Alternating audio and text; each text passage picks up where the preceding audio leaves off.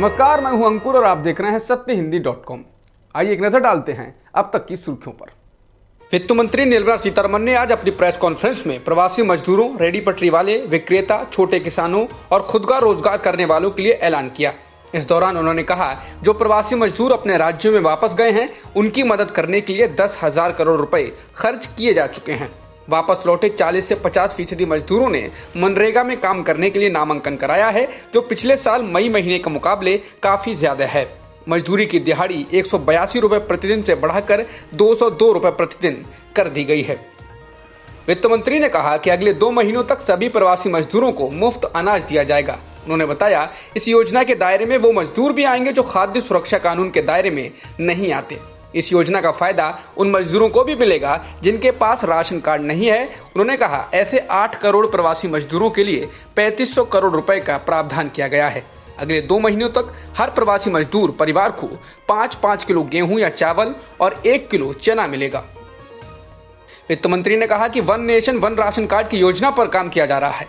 ये हर राज्य में लागू होगा। प्रवासी किसी भी राज्य के राशन डिपो से इस कार्ड की मदद से राशन ले सकता है। रेडी पटरी वालों को दस हज़ार रुपए प्रति व्यक्ति दिए जाएँगे, जिससे लॉकडाउन के बाद ये अपना काम शुरू कर पाए। इससे पचास लाख लोगों को लाभ मिलेगा। केंद्र ने इसके लिए पाँच हज़ार करोड़ रुपए दिए हैं। ये योजना महीने भर के भीतर लॉन्च हो जाएगी।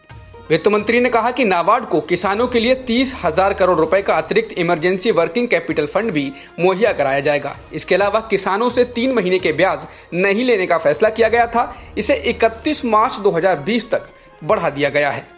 वित्त मंत्री निर्मला सीतारमन ने दावा किया है कि बीते दो महीनों के कोरोना काल में केंद्र सरकार ने तीन करोड़ छोटे किसानों को कृषि कर्ज दिए हैं। कुल मिलाकर चार लाख करोड़ रुपए से ज़्यादा के कर्ज दिए गए हैं। वित्त मंत्री ने कहा कि असंगठित क्षेत्रों में काम करने वाले सिर्फ़ 30 फ़ीसदी मजदूर ही न्यूनतम वेतन का फ़ायदा उठा पाते हैं। पूरे देश में एक जैसा न्यूनतम वेतन लागू किया जाएगा, ताकि क्षेत्रीय असमानता दूर हो, इसे कानूनी रूप दिया जाएगा। भारतीय रेलवे ने सभी ट्रेनों को 30 जून तक के लिए रद्द कर दिया है। रेलवे ने कहा है कि जिन लोगों ने टिकट बुक किया था, उन्हें पूरा पैसा रिफंड कर दिया जाएगा।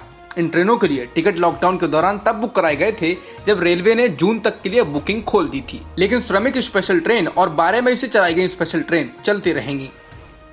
भारत सरकार ने स्पेशल ट्रेनों को चलाने की मंजूरी दे दी है और चलने भी लगी हैं। इसी क्रम में स्पेशल ट्रेन के लिए दो लाख चौतीस हज़ार चार सौ ग्यारह यात्रियों ने टिकट बुक किए हैं।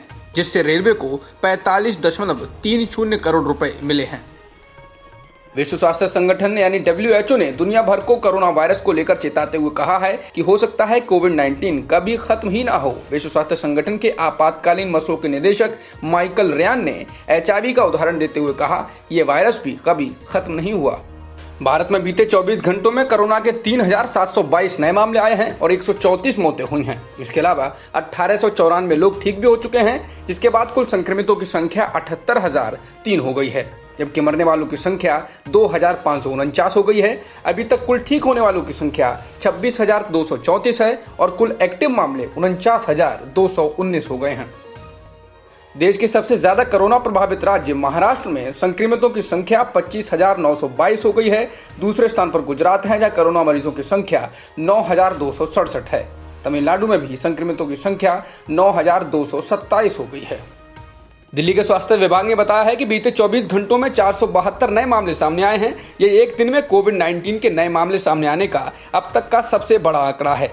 दिल्ली में अब संक्रमण के कुल मामले 8,470 हो गए हैं। वहीं कोविड 19 से मरने वालों की संख्या बढ़कर 115 हो गई है।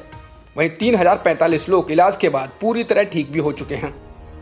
केंद्रीय मंत्री नितिन गडकरी ने समाचार चैनल एनडीटीवी को एक इंटरव्यू में कोरोना वायरस के बारे में कहा यह कुदरती वायरस नहीं है ये कृत्रिम वायरस है। ये वायरस एक लेबोरेटरी से आया है।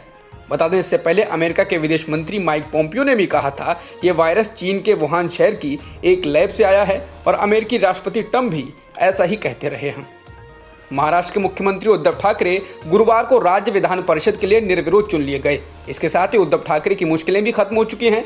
उम्मीद जताई जा रही है कि उद्धव ठाकरे मंगलवार या बुधवार को एमएलसी पद की शपथ लेंगे। उधर उद्धव ठाकरे के अलावा आठ अन्य उम्मीदवारों को भी राज्य विधान परिषद के लिए घोषित किया गया है।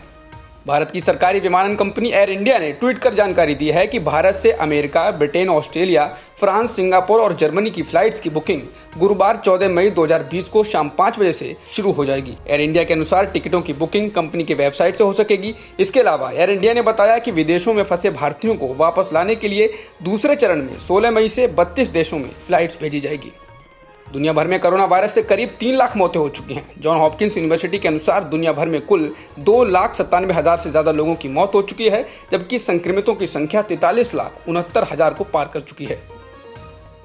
अमेरिका में कुल संक्रमितों की संख्या तेरह लाख नब्बे हज़ार से ज़्यादा हो गई है, जबकि मरने वालों का आंकड़ा चौरासी हज़ार एक सौ उन्नीस हो गया है। वहीं रूस में कुल संक्रमित दो लाख बयालीस हज़ार हो गए हैं और मृतकों की संख्या दो हज़ार दो सौ बारह हो चुकी है। ब्रिटेन में संक्रमितों की संख्या दो लाख तीस हज़ार से ज़्यादा हो गई है और मृतकों की संख्या तैतीस हज़ार से ज़्यादा है। स्पेन में भी संक्रमितों की संख्या दो लाख अट्ठाईस हज़ार से ज़्यादा हो गई है और मृतकों की संख्या सत्ताईस हज़ार एक सौ चार है। इसके अलावा इटली में भी कुल संक्रमित दो लाख बाईस हज़ार हो चुके हैं और मरने वालों का आंकड़ा इकतीस हज़ार से अधिक है। अब तक की खबरों में इतना ही। बाकी खबरों के लिए बने रहिए सत्य के साथ।